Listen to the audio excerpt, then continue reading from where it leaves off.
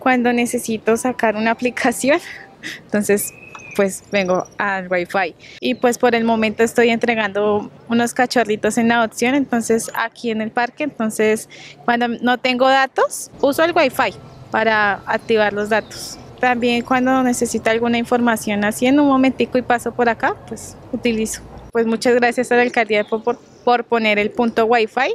Es muy útil para todos en cualquier emergencia o caso a veces hasta para hacer tareas yo creo que los niños lo pueden utilizar es solo llenar una encuesta y ya.